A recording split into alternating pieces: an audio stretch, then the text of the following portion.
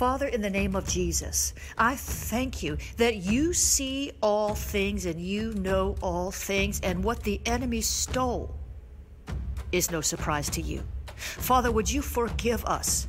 Forgive us, Lord, for not discerning your warning about the prowling lion roaming about seeking whom he may devour. Forgive us for not being on the offense, for not being on guard, for not being ready and steady in the name of Jesus.